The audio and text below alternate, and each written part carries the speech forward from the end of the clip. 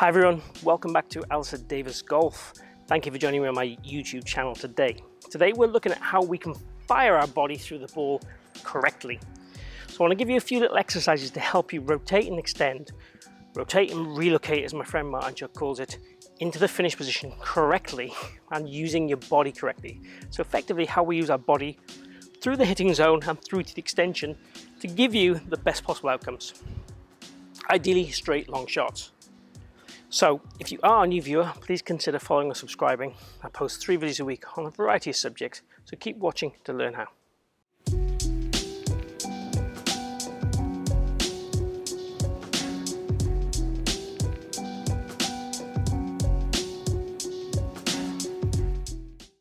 So we're looking at how we can move our body through the ball efficiently and effectively, and what I call rotate and extend, or rotate and relocate. First thing I want you to do is get an alignment rod if you have one. Put it on the ground just outside your trail foot. And from there I want you to think, okay, how would I get energy to throw this stick into the net? So what would I do? So we think about what we're doing here. Hands are going from a low position to a high position. And I'm generating all the movement and power, because the club's stuck to the ground, through my pelvis and through my chest and torso. So I'm rotating and extending. So the extension is kind of chest up. Still trying to maintain my tilt as I do it. The arms are working around the corner and I'm getting that kind of feel. So an alignment rod doing that is a great way to feel this. You can also use a broom if you're at home and you want to do something and you haven't got a net.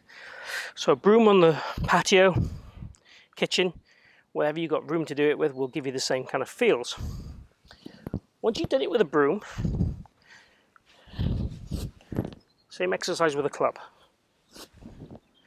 Obviously, a club's a bit heavier, so it feels a bit different, but the same principles apply. Extending and rotating is such a key piece.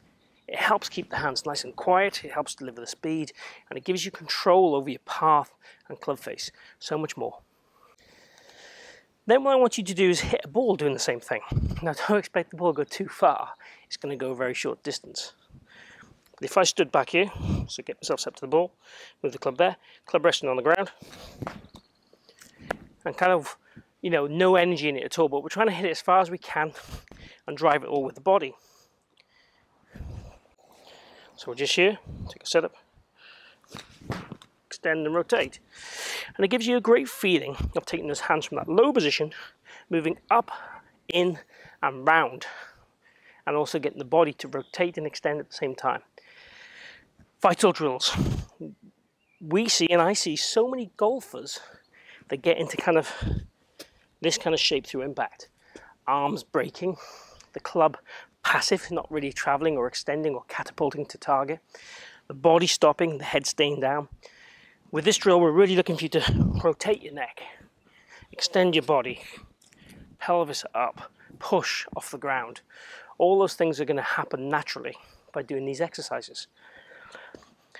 The last exercise within this would be to do a probably mini backswing and then try and hit it as far as you can, doing the same thing. So if I take my setup again to the to the mat here and to the net, if I swing to here, and from there feel I'm going to do exactly the same. Okay, a little bit thin in contact, but I'm really trying to exaggerate what we're trying to do. Really trying to feel like we pull the hands from low. Again, this would be the lowest point with the hands around about here, and then they're going to work upwards.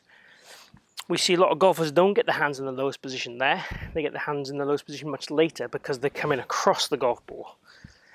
But practicing this kind of low, extending and rotating is also going to help encourage hopefully the right path too.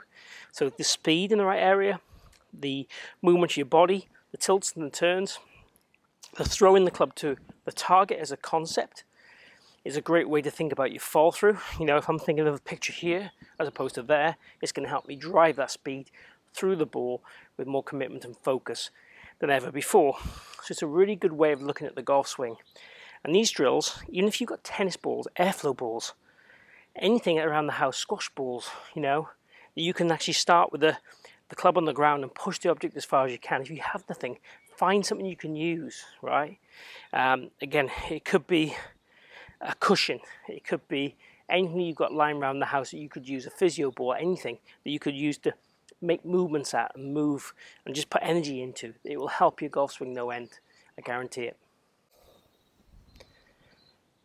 So I hope you enjoy today's video on looking at the how to fire your body through the ball, how to push through the ball correctly, how to drive your hands through the ball correctly.